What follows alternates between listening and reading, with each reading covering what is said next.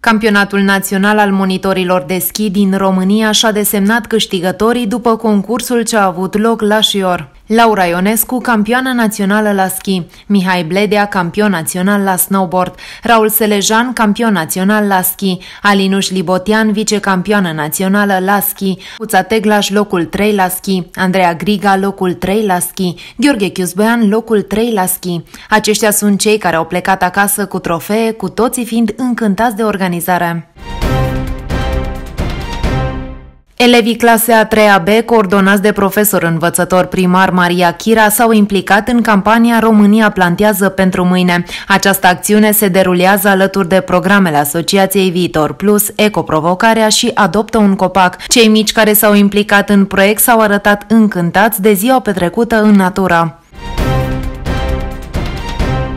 Direcția Generală Antifraudă Fiscală din cadrul Agenției Naționale de Administrare Fiscală împreună cu Inspecția Muncii demariază acțiunea de control Cronos pentru prevenirea și combaterea sustragerii de la declararea și fiscalizarea muncii, a anunțat ANAF. Operațiunea de verificări, care se numește Cronos pentru combaterea muncii subdeclarate și nedeclarate, va demara în primă fază la firme de construcții și Horeca, dar și la saloane de înfrumusețare sau servisuri auto, a anunțat azi fiscul. Operațiunea vizează cu precădere firmele de confecții, construcții, pază și protecție, curățenie, alimentație publică, silvicultură, transport, comerț, arhivare și depozitare. În aceste sectoare au fost identificate cele mai mari riscuri legate de utilizarea forței de muncă fără forme legale ori sub declararea nivelului real de salarizare, arată fiscul.